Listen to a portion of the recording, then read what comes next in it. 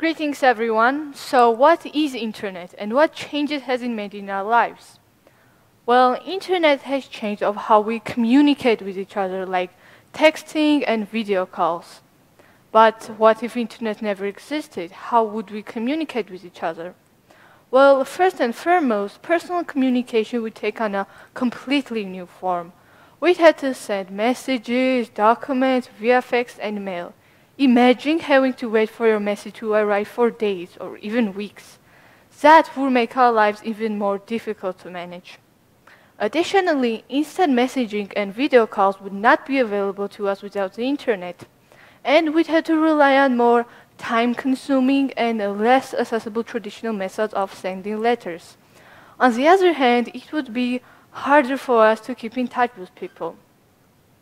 Also, the internet has made it easier than ever to access digital resources and online learning, which has had a significant impact on education.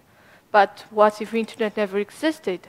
What changes would our education have undergone?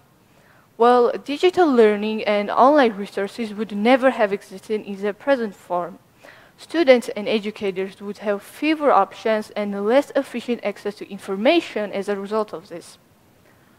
And uh, additionally, our methods of knowledge sharing and communication would change. And without platforms like MOOCs, Khan Academy, and Coursera, it would be harder for students and teachers to get information and share it. But how about businesses?